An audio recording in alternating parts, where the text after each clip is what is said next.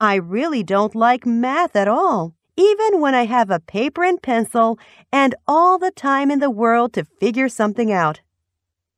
And at the same time, I look forward every day to Mr. Conti's math class. And how do you explain that? Since that's the class where I'm always getting in trouble.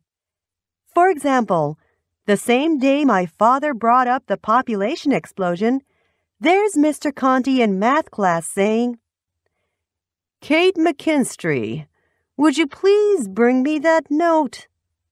Well, it isn't exactly a note, Mr. Conti. I see, says Mr. Conti. I suppose it's another math problem. It looks like a math problem, Mr. Conti.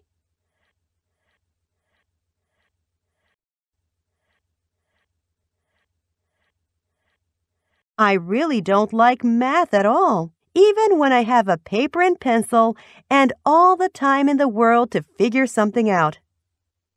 And at the same time, I look forward every day to Mr. Conti's math class. And how do you explain that? Since that's the class where I'm always getting in trouble. For example, the same day my father brought up the population explosion, there's Mr. Conti in math class saying, Kate MacKinstrey, would you please bring me that note?